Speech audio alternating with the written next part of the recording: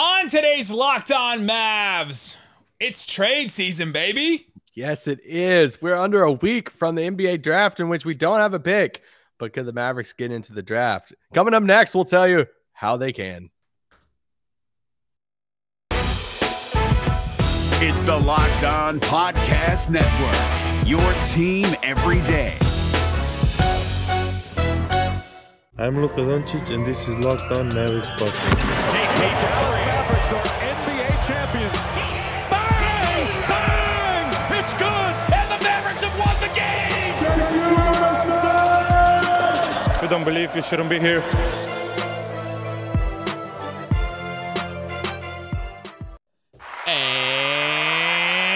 Welcome. You are locked on to the Dallas Mavericks. My name is Nick Angstadt, media member and coordinator for the Locked On Podcast Network. And joining me, as always, my co host, contributor at Mavs.com, the trade machine titan, the one more thinking. What you got for me, Isaac Harris?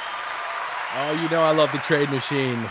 And uh, a new website that you know came into existence over the past year or so of the tradenba.com site, It's which great. I think I think it got bought out by someone. But real quick off off the top, today is Ted Lasso Day. And oh, I- just I want to say I've been watching it. warms and- my heart. This is this is really hard for me because I don't do like funny dumb TV shows and How dare you? it's kind of dumb but it's like fun too. And so anyway, for the longest time Nick was like, "Hey, you got to watch this show. Please watch it." Literally every single person in my life who had watched it's like, "Great show, great show." Even my pastor that I work with is like, "Hey, you need to watch this show." And I was like, "Man, okay, I'll try." I watched one episode and I'm like, I, I'm I just can't do it. This is I'm not this type of person. Nick continued to get on me about this. You know what? I tried a few more, few more episodes and I'm all in. And I'm I'm all in, but I'm more fascinated than anything. I'm fascinated because I'm like deep diving this way more than what I should. I've thought about Ted Lasso, the individual, so much because there's something. It's like Ted Lasso and Giannis. okay, now you're part of the cult. It's a little cultish now. Um, it's like the combo of Ted Lasso and Giannis gives me hope in humanity. Okay, because Mm. two like genuinely nice, good dudes, and they're so universally liked. And that's what I was so intrigued with. Like my my wife joked, I was watching in bed the other night, and she joked, she's like, "You're just watching the show because of peer pressure," and I'm like, Oh, Yeah. she hit you with that? "Yeah," because I've already told her, I'm like, "It's not my show," and she's like, "Why are you watching if it's not your type of show?" I'm like, "Because people love this show." And here I am. I'm I'm all in, and she's laughing about it. Would you jump off a bridge if everybody else is going to? So yeah, I mean, it's like I just think there's something so refreshing. I don't think you can hate the show or hate him. I think it can be like not your genre of show, but it's impossible to hate Ted Lasso. I, I don't I don't think you possibly can. And I'm like, hey, dude, I'm gonna root for him, and this is a fun show. Today's episode is brought to you by the Locked On NBA Draft live show that is happening next week, Thursday night. NBA Draft Goat Chad Ford, Locked On NBA Draft host Rafael Barlowe, a rising star who Chad Ford called the Cade Cunningham of draft coverage. I was like, that's that's a pretty big compliment right there. We'll be live from WFAA studios in downtown Dallas. So Chad Ford will be in town. So if you're uh, walking around, maybe you'll see Chad Ford. Uh, and me and Rafael and John Krause. It's hard to miss John Krause, six five bald. Uh, follow Locked On NBA on YouTube. So go subscribe to that channel. Get our coverage live July 29th at 7 p.m. It's going to be awesome. All right, on today's show, we're going to be doing some some trades around the draft a little bit. The draft is a week from yesterday. It's wild that it's coming up already, Thursday. So Isaac, hit us with our first big trade. Yeah. So obviously the Mavericks don't have a pick in the first round. They don't don't have a pick in the second round. So we've been super envious of the draft parties for media that's going to be taking place, and like we don't have one this year because I'm Mavericks creating don't. all this draft content for the Locked On NBA channel, and we are in none of it. Like the ultimate mock draft, these like the live show, nothing. Nothing at all. But I'm I've been so far in on this draft class. Like the past three or four weeks, I've just been deep diving so many people. And so I'm super excited. But it's like that's also a time where there's so many different trades that happen, right? Like I think back to the Jimmy Butler, Lauri Markkanen trade. Like, whoa, what's going on? Like this is a crazy Mhm. trade. It you know reshaped some things in the conferences, and uh, you know that's when he went to Minnesota. and didn't really work out, but still big time trade, big time name. And I think there could be some movement, you know, coming in this draft. So it's like, all right, let's play some hypotheticals. Let's look at if the Mavericks do swing and make some type of deal, whether it's a bigger type deal, which we have a few of those we could throw out, or some smaller ones too. So now I always preface this with any trades. This is not a uh, not always trades that we would do, not trades that I would do, not trades that Nick would do. We might give our opinion on it. These are trades that we could see some type of like framework of like, let's throw some ideas out and have some fun with it. You just said the equivalent of re- these retweets are not endorsements, basically, is what you just. Exactly. That's what you just said verbally. um, if I'm comfortable enough with saying, hey, I would do that, I will tell you. But some of these trades, I'm not comfortable with it, but I could see a framework being there. So Fair. let's just talk about the first one that I've seen circulating on Twitter. Somebody tagged us in this. I think somebody actually wrote about this and actually included this because it was actually screenshot in an article. And it was with Houston. Houston has like three first round draft picks, by the way 24, 25, and obviously number two overall. Eric Gordon picked 24 for Josh Richardson, assuming he opts in to you know his player option, $11 million, and Tyrell Terry. So for Houston, the Houston's case is all right, we have three first round picks. We have 24, 25. We'll attach one of those picks to get off the remaining salary of Eric Gordon past this year. He's due Mm. $18 million this year. Then it's 19. Then it's 20 after that. Like, it's a lot of money for Eric It's a Gordon. lot of money. So if Houston's saying, hey, we're rebuilding anyway, we don't need bigger contracts on our roster. Let's swap his contract out with Josh Richardson. We'll give up one of these picks in the 20s and we'll basically swap out the pick for Tyrell Terry and like, hey, we can use the backcourt help too. If you're Dallas, Dallas looks at it and says, all right, well, Josh Richardson really didn't fit with the team last year. We'll take the swing on maybe a better player in Eric Gordon, but we also get the 24th pick in the draft too. And there might be some guys in the bottom of the first that they like that they might like more than Tyrell Terry at that point. What do you think? Who says no on that? Not you, but who would say no, Dallas or Houston first? I think the Rockets look at what OKC did the last couple of years and go, there's no way we're giving up a first round pick in order to get off of Eric Gordon. We're going to get a first round pick for Eric Gordon. It's uh, it's also Tilman. It is Tilman, too. So what does that mean? He doesn't want to pay. I mean, are, they're not even anywhere close to the luxury tax, are they? No, but does he ever want to spend money? Yeah, but you got to you got to pay somebody something. Very true. Very true. I guess they have John Wall. They're paying him something for sure. But yeah, no, I don't think they do that because I think they're going to try to go the Al Horford route or something like that, where they swap that, swap Eric Gordon for a worse player that's maybe a, a you know even a worse contract than this one, get a pick in return. I think that's the smart thing to do. Uh, the trade in a vacuum though, for the Mavs, I it takes a lot of cap space. So Yeah. if they do if the Mavericks do a move like this, it's they're they're trying to walk and chew gum at the same time, right? They're trying to oh, we're trying to win now by getting Eric Gordon, but then they're also taking up all the cap space that they could have used to sign somebody better than him and then getting a, a draft pick to say we're also developing young players too. They're like trying to do both things at the same time, and I think they do both things worse. That's true. Yeah. Because you even look at Eric Gordon's three point shooting too. He shot 32% from three the last two seasons. The last So two seasons it's bad. not like you're saying, well, man, Eric Gordon, 40% three point shooter, Yeah. knocked down. He would. So, yeah, I mean, he makes, like I said, he makes $18 million next season. Then it's 19 after that. Then it's 20.9 after that. So he's on the books for not like three more seasons after like this current one that just ended. So it's a, it's a lot of money for somebody like Eric Gordon. I could, I don't think I would. I don't think I would do it. Let me throw you a trade that's a little bit bigger than this one. I thought you were going to start with a with a big fun one to start. Oh, I have some, I have, I have some big one. okay. Kristaps Porzingis Mm. and CJ McCollum make like almost the same amount of money. I asked Mike Richmond this, and I'm going to ask you the same question. Who has to add what to which side for Kristaps Porzingis and CJ McCollum? Now, Mavericks fans would probably say you have to add stuff to the Mavs side Yeah. because Porzingis is bad, but CJ McCollum has not necessarily been that great for the Blazers. Blazers fans are like done with him. His defense is not great. Uh, he's you know scorer sure, but but that's not he doesn't really do anything else for him. And uh, Mike Richmond said that the Mavs would have to add, or the, the, the Mavs would probably have to add a little bit more to it, but Yeah. that um because big men are you know big men and stuff aren't in demand. But there's there's on both sides, I think you could make a case. Yeah, I, don't, I just don't see a world that Portland would have to add anything to that. I, I don't. I mean, I Uh, the other thing is the other thing I was going to point out is he's 30. I mean, it's not like he's super young at this point, and True. he, he's aging. Porzingis is younger. He's under contract for longer. There's there's a couple of things here and there.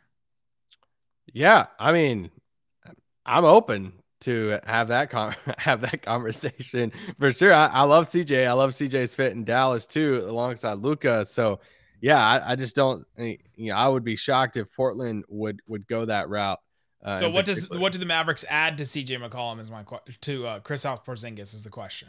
Oh, I, I think you'd have to say Brunson future first.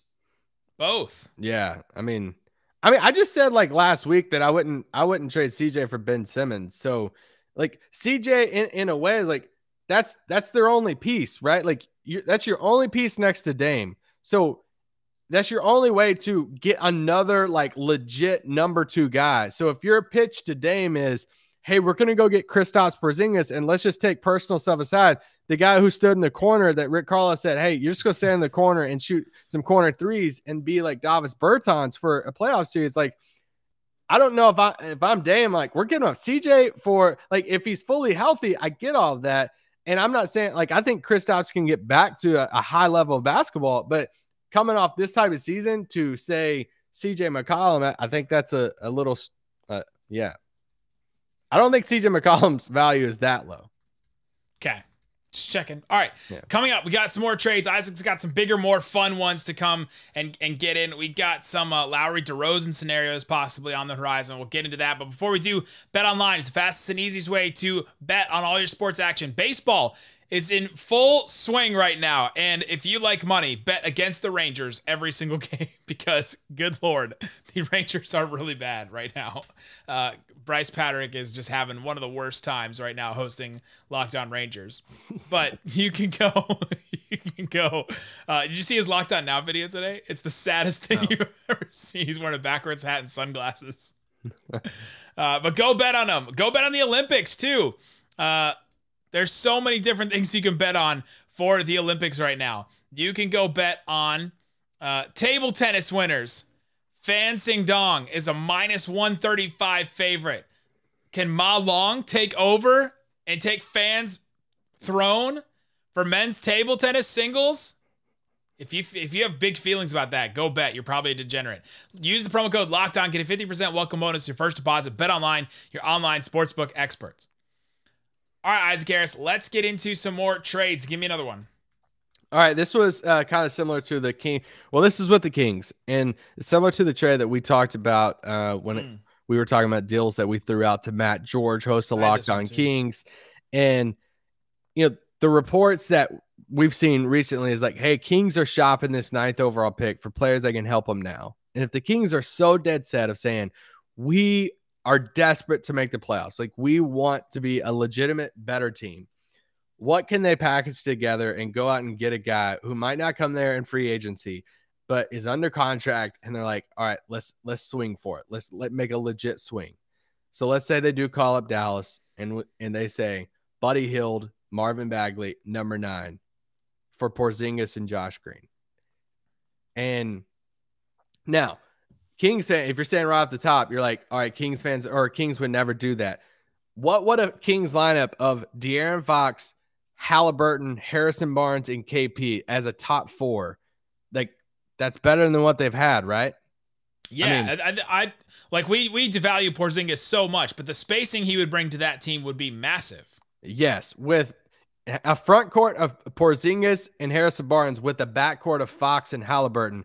That's a lot of fun, in in my opinion. And so They've been Now- starting Richaun Holmes and Bagley, and like these aren't guys that space the floor. They can shoot a little bit, but they're not spacing the floor all that much. and when you look at the, when you look at the money difference, like there's, I, I say only in this, but there's a $10 million money difference between Buddy and KP every year, right? I mean, because Buddy's Yeah. under contract for multiple seasons too, like KP. If you're the Kings, you say, all right, the upside of, of Kristaps Porzingis, he's like a guy like that's never going to come here in free agency probably. So now you have him under contract for multiple season. And the Marvin Bagley stuff, like where are they at with him? Are they going to get like positive value if they trade him, or is it just a hey, we just got to write this off and say here we go? And then you're just swapping out pick nine for Josh Green, basically, right? what you said about Marvin Bagley is the same thing the Mavericks are saying about Porzingis. I think right now. I don't know. Are we gonna get positive value for him? I don't know. We're gonna ride this out, I guess. So if you're Dallas in this scenario, you know, you're not getting a you know, you're in two camps with KP. I think if you're in the camp of like, all right, you you want to trade KP, if like if you're in that camp, you're either in the camp of, hey, I would trade KP for multiple pieces to go on the team, or you're like, hey, I would only trade KP if it's going to get me a bona fide number two guy next to Luka. I think you're in one of those two camps if you're like, if you're in the camp of like, oh, do you want to trade KP? Now, is Buddy Hield the like a bona fide number two? No, he's not. Is he insurance for Tim Hardaway Jr.? Yeah. Could you play Tim and Buddy together? Yeah. Not in the playoffs. Not defensively, but No, yeah. but then you swing for Marvin Bagley, right? Who is a younger version of a Dwight Powell, and you say, "Hey, this is like, can you can Dwight Powell like mentor you and mold you into teach you how to uh, roll? And hey, you can have all of these. Uh, I'm gonna take a page out of Giannis's book. Coach, if you want me to be Dwight Powell, then I'm gonna go back to Greece.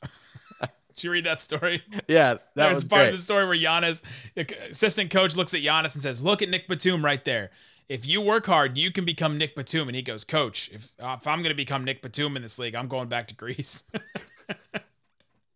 So okay, so if you're Dallas, do you make this move? Then you have the ninth pick overall. Who do you take at number nine if you're Dallas? You're getting Buddy. You're getting you know Marvin Bagley back. There's three names I'm looking at. Do they take the guy? Do they take Sengun. yeah Sengun? Do they take him and say, all right, let's pair you up with Luka? Do they take a Davion Mitchell if he falls? Yeah. Do they take my Book guy? Knight. This is my guy. James Knight. Bouknight is my guy, man. Like this is your guy. Oh man, this is this has been my dude. Now he's like shot up draft boards and now he's like top 10 for some people. So, but like that would be a crazy draft night move if they walked out, if they traded Porzingis and Josh Green and they walked away with Buddy, Marvin Bagley, and James Book Bouknight or Davion Mitchell. And you're like, all right, you don't get the the like bona fide number two The to replace KP, two, yeah. but you have some pieces that you know, like you know, Buddy Hield would play. Like, could Buddy Hield get the bump that Tim Hardaway got last year of being the shooter two guard next to Luka? So, yeah, I mean, you'd have two swings at two young guys and a Bagley and like a Bouknight or Mitchell, whoever it is, too. So, All right, so this is another trade that we talked about, the exact same kind of framework, but take out the pick and and Buddy and replace it with Barnes. Would you do this? KP for Harrison Barnes back in Dallas now that Donnie Nelson and Rick Carlisle are gone, uh, and Marvin Bagley. I mean, yeah, I'm partial to Harrison. I was gonna say so you're maybe the worst person to ask this for, but I think that I mean that one. If if they do a, a trade like that, then the Kings are thinking very similar thing to what you said. This is a young guy, Porzingis, that you know can kind of grow with our group, that we can develop a little bit more. Maybe we can rehab his his you know his skills a little bit more. And he's on the timeline of the rest of our guys, whereas Harrison Barnes is not, and he may not have more value the rest of his contract. Uh, we want to get a little younger in that sense. We want to uh, have all these guys grow together. Another, sh- basically, another shot at a guy that's gonna be that could be way better than Harrison Barnes, right? Because Porzingis Yeah. can be, uh, and then get off of Bagley because his parents hate that he's in Sacramento. Yes. So yeah, I mean, that one's definitely. I didn't include that one because it didn't include a draft pick, so it wouldn't technically have to be on draft night. But it's intriguing too, especially how you feel about Marvin Bagley. And I know if I'm Bagley and saying, "Oh, if I could go to Dallas and play with Luka, sign me up. Let's do it." that's Uh, that's an upgrade over Dwight Powell in every way except for maybe like off the court, right? Like the type Yeah. of teammate and person Dwight Powell is like every then- other on every on the court advantage Bagley would have for sure. How, how much would you pay for a shot of Bagley wearing the Hallelujah shirt? The Bagley over Luka. Uh, that would be amazing. That'd also.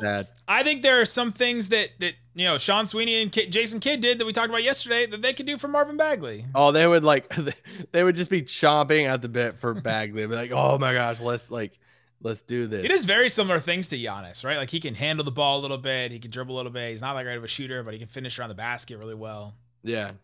Okay, I have another similar one for you. Ooh, I'm ready. Of Porzingis for like if you're in the camp of like I would you would trade Porzingis for like multiple pieces for the roster. What if they called the Clippers and it's Zubac, Luke Kennard, Pat Beverley, and 25 Oof.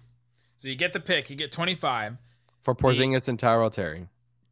The Clips get the Clips get Porzingis, so then all of a sudden they're trying to which is really Well, the- funny because they just watched Porzingis be like semi useless against them. But but the Clippers point of that is saying, all right, Kawhi's gonna be out most of the year. Now we have you know KP, Paul George, you know keep, and then a potential big three. Kawhi comes back, all that stuff come playoff time, moving forward. If you're Dallas, like I don't think I'm doing this. If I'm Dallas, uh, I think some some fans are listening right now saying, no, I would do that right now. You know, blah blah blah blah, because it's like, all right, you get a bunch of these guys who can theoretically play like Zubac with Luka. I think you know great in the regular season. I don't know what it looks like in the playoffs. it was Zubac, Kennard, Patrick Beverley, and 25. Yeah. in 25. The the Patrick Beverley one is, oof, man, he looked Yeah. there. He was rough at times in that playoff run last year. But Yeah. But that's the thing. It's like, with, who would you go with 25? Oh, well, well, there, there's a guy out there that, uh, Ayo Dosunmu, Ayo, you know, yeah, this is, uh, just real quick from Chicago. You know who else from Chicago? Michael Finley had a little Jalen Brunson uh, connection. You know who else? Uh, you know he's represented by Excel. Oh, let's go. He's uh he's 21. I got so many tweets today when somebody uh, a draft prospect signed with Yeah, Excel, and I got like yeah. three or four tweets today about it. I love it. Every time somebody signs with Nike or Excel, we're gonna get tweets. We're getting tweets about it. they're coming to Dallas. I'm- Uh, the Usman Garuba is a guy that a lot of people are talking about. He might be in that range too. No, he ain't gonna be at 25. 25. He'll be. a Think he'll be way before yeah, that? Yeah, yeah, yeah. I like Garuba, but Ayo's my my dude at the end of the first, and I think there's some connections there. Mavericks like older players. Uh, he's over 20. He put up 26 and five last year at Illinois. Good defensive wing, bigger wing, bigger wingspan. Best guy on this uh, on an Illinois team. He's he fits the Jalen Brunson mold, and there's some connections there too. So uh, I like Ayo if they get back into the end of the first. So you just keep Brunson? Could you play him and Brunson together? I haven't watched him. That would be kind of that would be kind of tough. He he handled the ball a lot Illinois, Illinois. So it's like, can he play off the ball? That's one of the biggest questions. Like, what is he? Yeah. But Coming up, got some more trades. If you're oh, loving Oh, yeah. this, you're going to love the rest of the podcast. we'll get into that. But before we do, let me tell you about Built Bar. Built Bar is a protein bar. Tastes like a candy bar. They're delicious. I eat one almost every day. They have all kinds of stuff all the time. Built Boost, Built Bites, Built Broth, all kinds of stuff and you can get them at built.com. Use the promo code LOCKED15 to get 15% off your next order. The mint brownie, always solid, 130 calories, 17 grams of protein, only 4 grams of sugar in a bar that's covered in 100% chocolate. They're great. I also love the raspberry, cherry barcia, the double chocolate. A lot of people love the cookies and cream. Wasn't super fan of that one, but a lot of people do love it. Everybody's taste buds are different. Go check it out. Isaac is pretty picky about stuff like this, and you love built bars. Oh, 100%. Love He's it. in. He's in on it. Again, promo code LOCKED15 to get 15% off at builtbar.com. All right, Isaac Harris, let's get into some more trades. Give me another one. Okay, Denver Nuggets. Ooh. They, they own the 26 overall pick. So I'm obviously only including trades with draft picks here because draft night deals.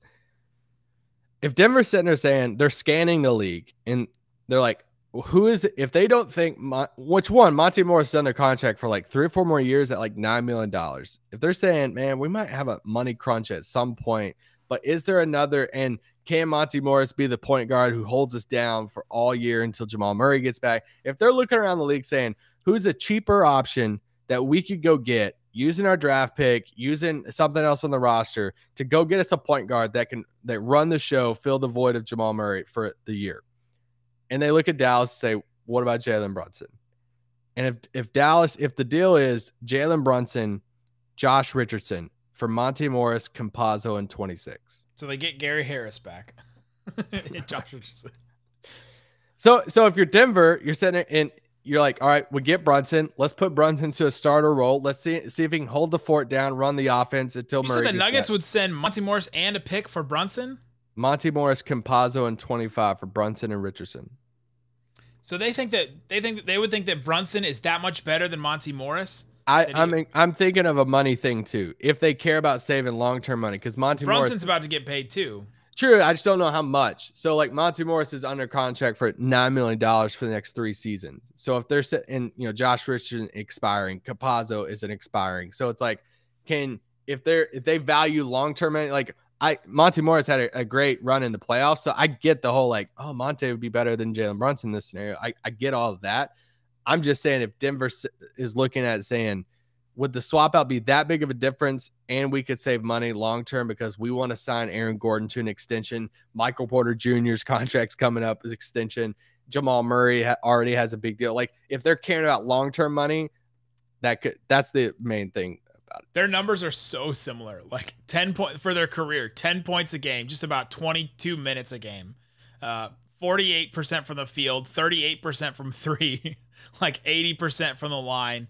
Uh two rebounds, three and a half assists, and like a tur- around a turnover. Like that's their like they have the exact same numbers basically. Uh yeah, really interesting. So like Monte Morris would be the backup in Dallas if that's the case. Campazzo. Monte Morris is also like quietly 26 years old too. So Brunson yeah. is two Campazzo years- would be oh, the new one year JJ Barea. JJ Brunson's about to be 25. Dang. Um, and then yeah, you get the you know 20 26 overall pick in that scenario. So Yeah, I don't understand that one. But what would you do with the 26 pick? You pick you'd pick uh, Ayo.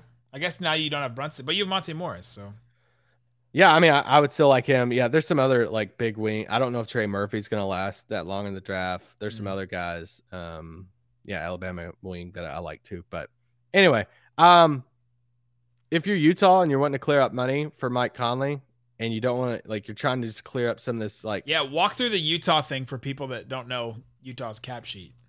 Utah has like 130 million dollars on their books for next season. That's not including Mike Conley. And so I was just looking at the roster and The- they have the 30th The overall. cap is like 110. So like they're already 20 million, almost 20 million dollars over the salary cap without Mike Conley. Like we're not just talking about a little bit of a luxury tax. They're they're gonna pay a lot. yeah. So if they're sitting there saying, "Hey, like we don't want to pay the craziest amount of luxury tax, is there a way we can at least shave off that that bill a little bit because we want to bring Mike Conley back?" And they look around the league saying, "All right, we have Derrick Favors and Royce O'Neale both make around nine nine to ten million dollars. Will somebody just absorb that contract and we'll give you the 30th overall pick? Because the 30th overall pick being a first round pick, there's guaranteed money there too. So you wouldn't have to pay that first round pick. You would also get off the money, get off $10 million from Favors or Royce O'Neale. So my question is if you're Dallas, would you absorb that contract for the 30th overall pick and just take Favors and that pick for free or Royce O'Neale and the pick for free? So Royce O'Neale, 100%. I don't understand why Utah would do that with Royce O'Neale. But yeah, 100% Royce O'Neale. That's a guy you could play in the finals. He would be one of those big wings for sure. Like that's your Jay Crowder if you're trying to do the Suns scenario, right? Like Yeah. completely. Well, I uh, only said Royce O'Neale because it's like, are they giving away Joe Ingles for free? Are they giving away Jordan Clarkson for free? No, yeah. are they right. giving away Bogdanovich for free? These No. are all guys who make over $10 million that they're probably not giving up for free. So, It's got to be somebody. yeah, it's got to be someone. And it's like, yeah, Royce O'Neale starts for him, but Uh, yeah, Derrick Favors is probably the one that they would do this with. He makes 9.7 this year, player option for 10 million next year. That one is one I'm a little more iffy on. What does Derek Favors do for the Mavericks? The Mavericks they have a bunch of centers already. All of a sudden, he comes down. Then what does Dwight Powell do? I mean, there's so many different. Yeah. Can he, can he play with KP? I wouldn't do I that. guess deal, no, right? Like no. I wouldn't do that deal. Would they do that with Bojan? I don't think so, but No, no, they're, he's too they're good. really trying to get off money. he's too good to just give away. I would do that in a heartbeat if they He's would. making 18.7 and then 19 and a half next year. Oof. Yeah, that's big time money. But all right, let me throw you the mega one that I sent you earlier today at the very. Oh, end. let's go. Save the best for last. All right, if the if the Lakers are really sitting there saying, "Hey, we want a, a, a good point guard, Chris Paul, Westbrook," like these names have been you know thrown out there for them. Is there a way for them to get a Westbrook or Chris Paul if you're the Wizards? And you're like, all right, we don't want to give up Westbrook for nothing, but he's also due like over $44 million the next few seasons. So I don't know like his trade value, what the Lakers have to offer, and everything. So let's just do a three team trade. This is going to be confusing to explain over the pod, but I was gonna say, I'm just gonna sit back and here we go. The Wizards would receive KCP, Porzingis, and the 22nd overall pick from the Lakers. The Lakers would receive Westbrook and Tyrell Terry. The Mavericks would receive Montrezl Harrell, Kyle Kuzma, and the 15th overall pick from the Wizards. ooh, So if you're the Wizards, you're swapping out Russ, Russ for Porzingis, and you're basically moving down seven spots in the draft and picking up KCP. And and a lot of that money, like that's that's that's almost what like 14 million dollars a year. That's Exa- wild to yeah. go down from Russ to KP is fourteen million dollars. Yeah, and you know KP's Man. younger, all of that. You're like, hey, what is KP? Bradley Beal. We still get our first round draft pick. We still get a guard in KCP. Whatever. The Lakers, you form your big three with Westbrook, you know, AD and LeBron, and have fun with the rest of the roster. if you're the Mavericks, once again, you don't get the bona fide number two guy in this scenario. You get Montrezl Harrell, Kuzma, and You do get another star though. Oh, come on. This one hurt my soul to do, but I think there would be some Mavs fans out there who do this deal. Now, there's Remind, also remind people what the Mavs are getting in this deal. They're sending out Porzingis and Tyrell Terry, and that's it, right? yeah, and- Richardson. no. And No, then they, they would get They get they would get Harrell, Kuzma, and the 15th overall pick from the Wizards. yeah. So it's like, hey, you get you get Kuzma. Whatever. If you're really high on Kuzma, then you might like this deal. Um, if you're not, then you're like, why are we even talking about this deal? You also get the 15th overall pick in the draft. Like, who is that? Like, if you're sitting there saying uh, Garuba, which Garuba and Montrezl Harrell, that'd be funny because Garuba would outplay all of his minutes. Kuzma's a guy that has at least shown that he can play in a playoff series. At at least he's Yeah. like he's one of those wings. He can hit a shot. He can play a little defense. Like he's at least proven that. I mean, he's not gonna be a like he's not gonna be a star. Like I don't think he's ever gonna be a twenty point per game guy. He may develop into that, but I don't think he's gonna be that. But if you want him to just be a solid wing that can shoot and all that, then yeah, Yeah. I mean, there's a money aspect of this too, because Harrell will be on expiring, and then Kuzma is just like you're getting off a lot of money in this scenario. Um, there's also another like form of this trade too, to where Harrell has a player Harrell's a player option for 9.7. So it, it Yeah. from some Instagram comments and things that he's made, I'm not sure he's gonna pick that up, but he may not have offers. well, he could yeah, he could pick it up with you know the intention of being traded. And true, like, true, true. that's the thing that gets tricky with the guys like Harrell, Josh Richardson. You know, if there's some stuff that on draft night and they're looking at it and they're saying, hey, like your draft happens before the deadline for a lot of these players and their options. It happens, you know, the day after, two days after, whatever. If they're sitting there on draft night, sitting there, you know, telling Josh Richardson, I'm just saying, you know, hypothetically, hey, we have a trade to send you to the Lakers.